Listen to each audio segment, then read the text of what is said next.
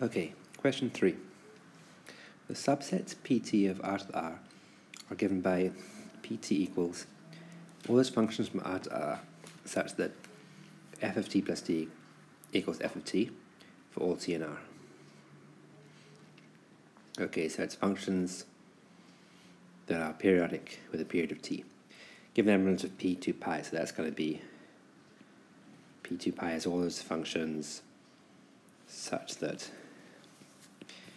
f of t plus 2 pi equals f of t.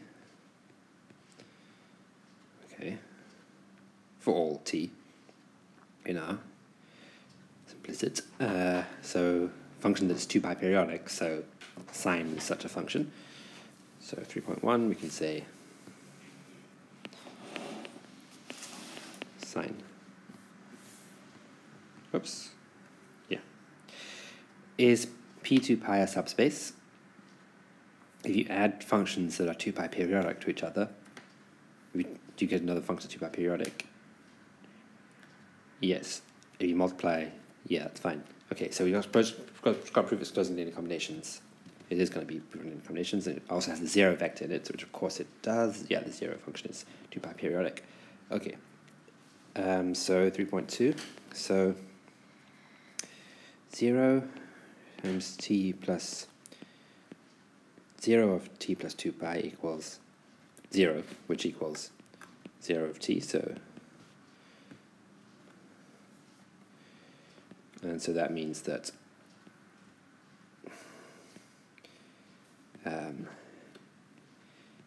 0 is in P2 pi. And now linear combinations, close on linear combinations. So we take f and g in P2 pi. Now,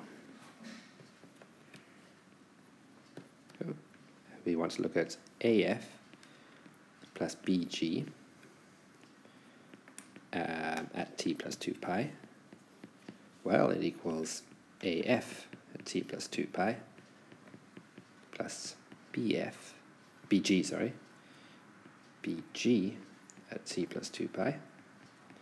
But since f and g are in p2 pi, so they're 2 pi periodic, then we have aft plus b plus bg of t. Um, okay. And that can be written as AF plus BG of t.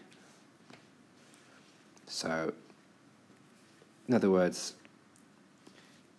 that implies f and g in P2P implies AF plus BG in P2P. Um, and then this thing below it is the explanation of why that is. Okay. Uh, that's all right. That to prove it's a, a subspace. Yes. Oh, so all of this shows that P2 pi is subspace. Okay, so that was all we had to do for that question. 3.2. Yes. 3.3. Are there elements in P2 pi that are not in P4 pi? So do, are there things that are there things that satisfy this that don't satisfy that don't satisfy that? No, because that you have that, then you have like that. Four pi is two pi plus two pi. So then you could say, oh, that's equal to f of t plus two pi. Oh, but that's equal to f of t. Yeah. Okay. So in other words, P2 pi is completely is a subset of P4 pi. Everything in P2 pi is in, is in P4 pi. So no, everything in P2 pi is in P4 pi. Why? Because uh, we've uh, because if if we have f in P2 pi, right?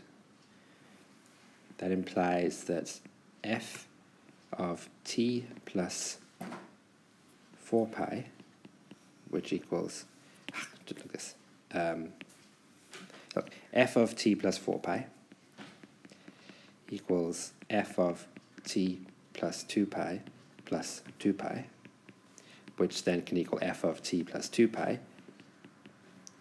if f is in p2 pi, uh, which can then equal f of t if f is in p2 pi, right? Each time you take away 2 pi. Okay. So that shows that if f is in p2 pi, then it's in p4 pi. Okay. Uh, so that's dark. That's all we have to do for that question, is it? Yes.